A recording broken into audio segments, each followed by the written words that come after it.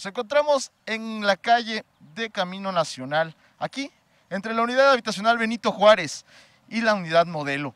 En esta ocasión, como pueden ustedes observar, al fondo el semáforo de esta intercepción no funciona.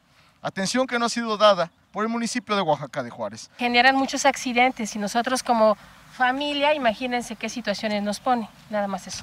Que nos apoyen para tratar de evitar accidentes. Pues dos cosas, que la gente debería ser un poquito más este, considerada al momento de cruzar, el uno por uno, pero también pues el gobierno debe de, de utilizar nuestros impuestos para lo que debe ser, ¿no? Para reparar este tipo de situaciones o mandar un tránsito y ayudar a la vialidad. Situación que se agrava, pues la afectación también se traslada a las y los transeúntes, quienes tienen que esperar a que un conductor se apiada y les dé el paso. Amiga, ¿no sirve el semáforo? ¿Qué opinas al respecto? Hace falta porque es un problema para poder pasar. ¿Cuánto tiempo lleva? Pues ya como una semana más o menos. Pues que está mal, así están todas las calles de la ciudad, de hecho.